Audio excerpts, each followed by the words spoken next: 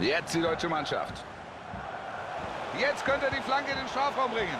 Gute Chance. Ein fantastischer Treffer.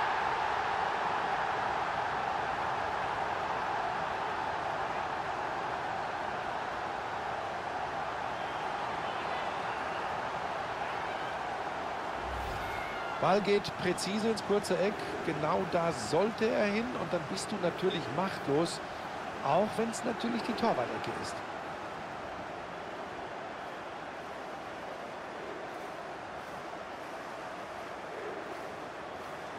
Ja, er kann wirklich hochzufrieden sein, hat seine Mannschaft richtig gut eingestellt.